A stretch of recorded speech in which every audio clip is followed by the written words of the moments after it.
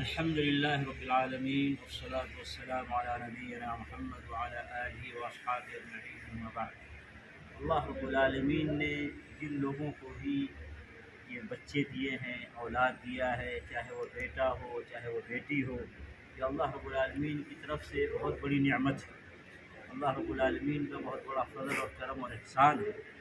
تو اگر اللہ تعالیٰ نے کسی کو اولاد دیا ہو تو جس طرح ہم ساری نعمتوں پر اللہ کا شکر ادا کرنا چاہیے، ویسے ہی اولاد کی نعمت پہ بھی اللہ کا شکر ادا کرنا چاہیے۔ پہلی بات۔ دوسری بات، پھر یہ اولاد اللہ رب العالمین کی طرف سے امانت ہے۔ امانت ہے تو ان کو اللہ کی تعلیمات، قرآن مجید کی روشنی میں سکھانا چاہیے۔ اللہ کے رسول محمد صلی اللہ علیہ وسلم کی تعلیمات، حدیث شریف کی روشنی میں ان کو سکھانا چاہیے۔ اس لیے کہ قرآن مجید کے اندر نبیوں کی دعائیں ہیں۔ ابراہیم علیہ السلام نے اولاد مانگا اللہ رب العالمین سے اور اللہ سے دعا کیا، رب حبلی من الصالحین۔ اے میرے رب، مجھے صالح اولاد عطا فرما۔ تو اگر کوئی اولاد مانگتا ہے اللہ رب العالمین سے، تو نیک اولاد مانگنا چاہیے۔ صرف اولاد نہیں ایسے ذکریہ علیہ السلام نے دعا کیا تو فرمایا رب حبلی من لدن کا ذریت طیبہ ان لگا اے میرے رب، مجھے عطا فرما بہ طیب اولاد، طیب ذریت یعنی اچھی اولاد. تو اچھی اولاد مانگا ذکریہ علیہ السلام نے تو اگر کوئی اولاد اللہ سے مانگتا ہے، تو اچھی اولاد مانگنی چاہیے. ایسے ہی اگر کسی کے پاس اولاد ہے، تو اس کو دیندار بننے کے لیے کوشش کرنی چاہیے، دیندار بنانے کے لیے کوشش کرنی چاہیے اور اللہ سے دعا کرنا چاہیے کہ اللہ اولاد کو نیک و صالح بنائے۔ جیسے قرآن مجید میں دعا ہے ایمان والوں کی، ایمان والے دعا کرتے ہیں، کہتے ہیں، ربنا حب لنا من ازواجنا و ذریاتنا قرۃ اعین واجعلنا للمتقین اماما۔ یہ اولاد کے لیے دعا ہے۔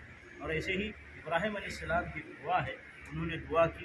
رب جنوبنی و بنی نعبد الاصنام۔ اے میرے رب، مجھے بچا۔ اور میری آل اولاد کو بھی بچا۔ اسنام کی عبادت سے یعنی کفر سے بچا، شرک سے بچا گراہ گمراہی سے بچا۔ تو ہر مسلمان کو چاہیے، چاہے وہ ماں ہو یا باپ ہو، اپنی اولاد کے لیے دعا کرے کہ اللہ ہر قسم کی گمراہی سے ہمیں بھی بچائے ہمارے اولاد کو بھی بچائے۔ ایسے ہی ایک اور دعا ہے قرآن مجید کے اندر، جس میں ایمان والوں کی دعا ہے، کہ وہ دعا کرنی چاہیے ہر ایمان والے کو۔ رب اوزعنی ان اشکر نعمتك التي انعمت علی وعلى والدی واعمل صالحا۔ اصلح لي في ذريتي انی تبت الیک و انی من المسلمین۔ یہ دعا ہر مسلمان کو کرنی چاہیے عورت ہو یا مرد اس کی، اس میں بہت ساری چیزیں ہم اللہ سے مانگتے ہیں۔ ایک چیز یہ مانگتے ہیں، میری ذریت کو، میری آل اولاد کو، صالح بنائے نیک بنائے بنانے کے لیے کوشش کرنی چاہیے، قرآن کی تعلیمات ان کو سکھانی چاہیے۔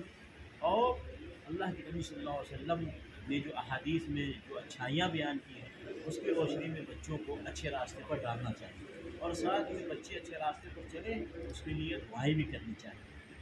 اللہ کے نبی صلی اللہ علیہ وسلم کا بھی طریقہ رہا ہے، اسی مدینے میں، اسی مسجد نبی میں، کہ وہ بچوں کو اچھی اچھی باتیں سکھاتے تھے۔ مثلا ایک مرتبہ نبی صلی اللہ علیہ وسلم نے اپنا اپنے چچا زاد بھائی اللہ بن عباس رضی اللہ تعالیٰ عنہ فرمایا بڑی لمبی دعا ہے، لمبی حدیث ہے وہ۔ اس میں ایک چیز سکھایا نبی صلی اللہ علیہ وسلم نے، یا غلام، اے بچے، اذا سألت فاسأل اللہ۔ جب کچھ مانگو تو اللہ سے وَإِذَا اسْتَعَنْتَ فَاسْتَعِنْ بِاللَّهِ تو مدد طلب کرو تو اللہ سے مدد کرو کیا ہے عقیدہ توحید؟ عقیدہ توحید سکھایا نبی صلی اللہ علیہ وسلم تو بچوں کو خود بھی توحید کے راستے پر چلنا ہے، شرک سے بچنا ہے، اور بچوں کو بھی توحید کا راستہ بتانا ہے اور شرک سے بچانا ہے۔ ایسے ہی نبی صلی اللہ علیہ وسلم نے ایک بار بچوں کو سکھایا، کھانے کے وقت کہا، یا غلام، اے بچے، سم اللہ بسم اللہ کر کے کھاؤ۔ کل بما یلیک، اور جو تمہارے سامنے اس کو کھاؤ۔ سم اللہ کل کل بھی امین اور سیدھے ہاتھ سے کھاؤ۔ دیکھو، بچے کو نبی صلی اللہ علیہ وسلم سکھا رہے ہیں۔ بسم اللہ کر کے کھاؤ، سیدھے ہاتھ سے کھاؤ، جو سامنے اس کو کھاؤ۔ تو بچوں کو بھی نبی صلی اللہ علیہ وسلم نے اچھی اچھی باتیں سکھائی۔ تو بچوں کو بچپن سے ہی ماں باپ کو چاہیے کہ وہ اچھی چیزیں سکھائیں اور اللہ رب العالمین کے قرآن سے جوڑیں، اللہ کے نبی صلی اللہ علیہ وسلم کے حدیثوں سے اور سنتوں سے جوڑیں۔ اللہ کی توفیق عطا فرمائے۔ آمین۔ السلام علیکم ورحمۃ اللہ وبرکاتہ۔